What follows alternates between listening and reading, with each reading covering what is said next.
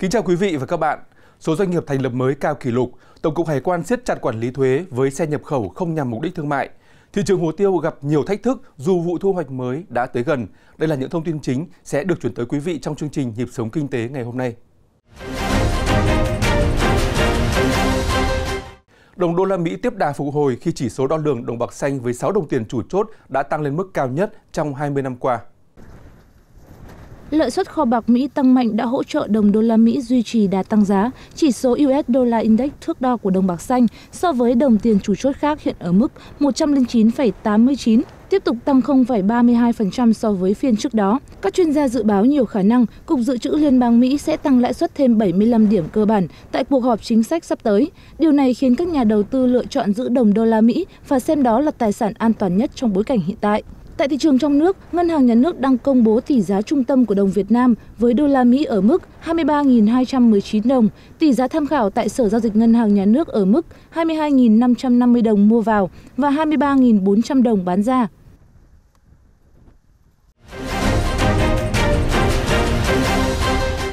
Môi trường kinh doanh thuận lợi, sự nhất quán trong chính sách phục hồi và nỗ lực thúc đẩy tự do hóa thương mại đang giúp Việt Nam trở thành điểm đến đầu tư hấp dẫn ở châu Á.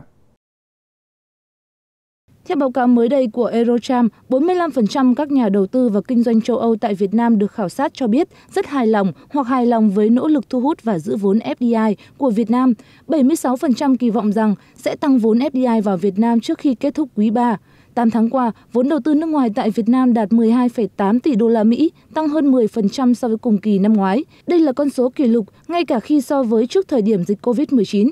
Theo Ngân hàng Đầu tư Maybank, tăng trưởng dòng vốn FDI vào Việt Nam đang tăng cao hơn hầu hết các nước Đông Nam Á và đã trở thành điểm đến của nhiều doanh nghiệp muốn mở rộng đầu tư tại thị trường châu Á. Báo cáo vừa công bố của Bộ Kế hoạch và Đầu tư cho thấy tình hình đăng ký doanh nghiệp đang tiếp tục duy trì tín hiệu tích cực.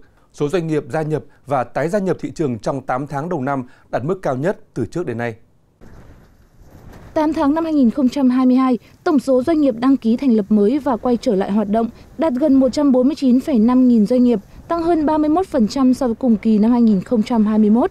Đáng chú ý, riêng số doanh nghiệp thành lập mới đã đạt trên 101.000 doanh nghiệp.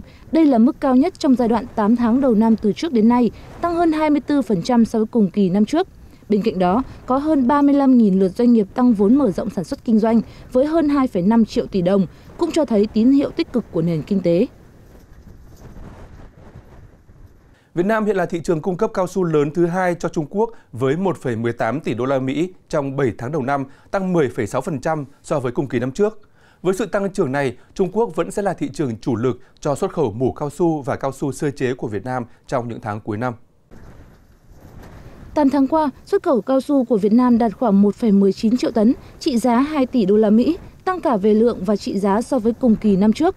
Trong đó, Trung Quốc vẫn là thị trường chủ lực cho xuất khẩu cao su Việt Nam. Hiện giá xuất khẩu bình quân cao su Việt Nam đạt 1.523 đô la Mỹ một tấn, giảm nhẹ so với tháng trước. Nguyên nhân chủ yếu do thị trường bị tác động bởi cơn khủng hoảng bất động sản, dịch Covid tại Trung Quốc. Bộ Công Thương dự báo Trung Quốc vẫn sẽ là thị trường chủ lực cho xuất khẩu mủ cao su và cao su sơ chế của Việt Nam trong những tháng cuối năm. Tuy nhiên, tình trạng gián đoạn chuỗi cung ứng bởi chính sách Zero Covid của Trung Quốc sẽ tiếp tục ảnh hưởng đến tình hình tiêu thụ cao su.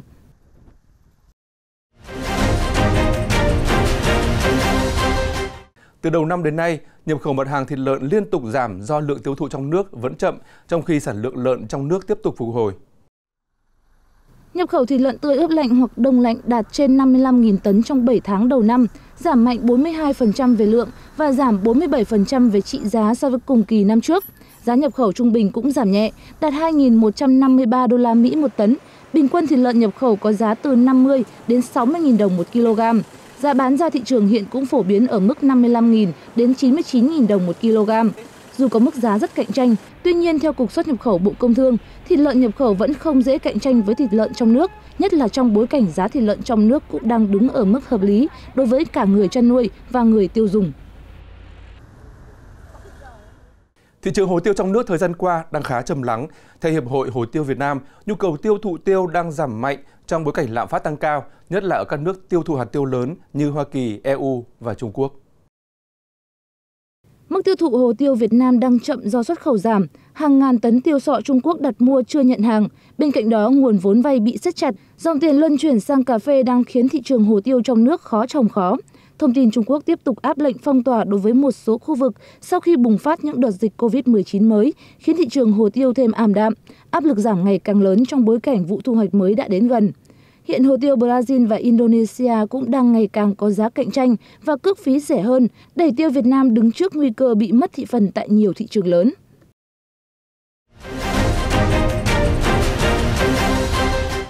Tổng cục Hải quan vừa có công văn yêu cầu các cục hải quan thành phố Hồ Chí Minh, Đà Nẵng, Hải Phòng, Bà Rịa Vũng Tàu, Quảng Ninh phối hợp với cơ quan thuế triển khai các biện pháp quản lý thuế đối với xe gắn máy ô tô nhập khẩu không nhằm mục đích thương mại theo đúng quy định.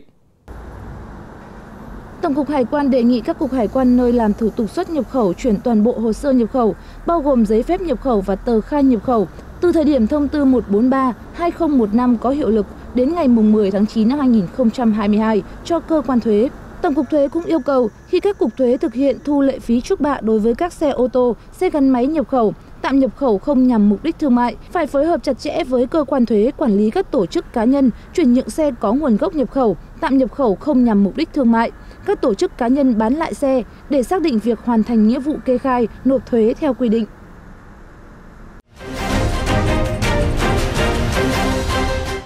Tám tháng năm 2022, tổng số khách du lịch nội địa đã đạt khoảng 79,8 triệu lượt, cao hơn 19,8 triệu lượt so với mục tiêu của cả năm 2022, cho thấy thị trường du lịch nội địa đã hoàn toàn phục hồi.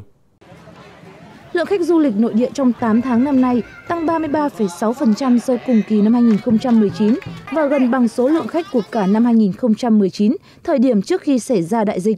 Tính riêng trong tháng 8, lượng khách du lịch nội địa ước đạt 8 triệu lượt khách, trong đó có khoảng 5,3 triệu lượt khách có lưu trú.